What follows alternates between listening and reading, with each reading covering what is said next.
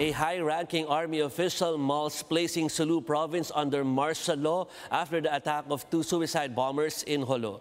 Meanwhile, the military sets its eye on Abu Sayyaf leader and bomb expert Mundi Sawadjaan as one of the suspects in yesterday's attack. Ryan Ang tells us more. Philippine Army Chief Lieutenant General Cirilito Sobejana is recommending to place the entire Sulu province under martial law following the twin roadside blast in Jolo on Monday. According to Sobejana, enforcing martial law will help bring back normalcy to the area after 14 victims died following the attack of two suicide bombers in Barangay Walled City. His recommendation for martial law in Sulu will have to go through the military's chain of command and be endorsed by Defense Secretary Delfin Lorenzana before submitting it to President Duterte. Meanwhile, the Western Mindanao Command is now on a manhunt for Abu Sayyaf leader and bomb expert Mundi Sawadjaan, the same person behind the Jolo Cathedral and Indanan bombings.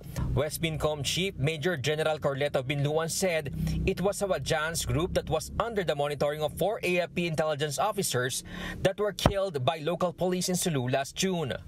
For its part, the National Capital Region Police Office is ramping up its security measures in public places following Monday's twin blast.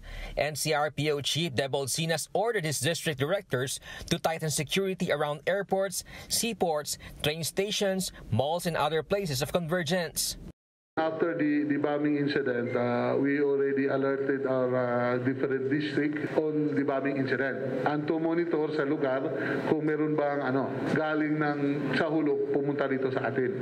Uh, we have also directed our intel uh, community and uh, our chief intel to coordinate with their counterparts in case may mga may mga galing sa Mindanao pumasok dito. Tightened security is also enforced in President Duterte's hometown, Davao City. Aside from the regular checkpoints, they also conduct random checkpoints and inspections. In Kalinan checkpoint, police ask motorists their origin and destination. Davao City Police Chief said even if there is no alarming threat monitored, they should not be complacent. Naglagay kami ng uh, random checkpoint. Nagsimula ito kagabi. So makaka-experience tayo ng mga inspection thoroughly at syempre magkakaroon ng konting traffic.